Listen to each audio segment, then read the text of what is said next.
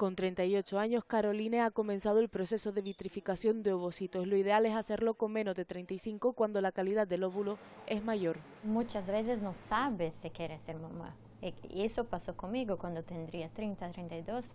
Pensaba que estaba tan lejos que no tendría ni que pensar en eso.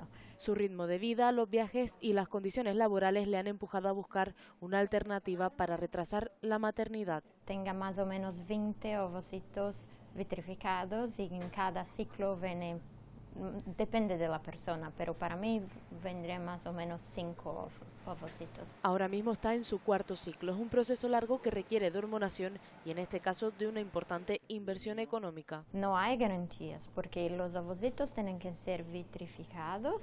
Eh, más en el futuro, más tarde, tienen que ser descongelados para serem utilizados e muitas vezes o ovocito que foi congelado não estava, eh, não era bueno.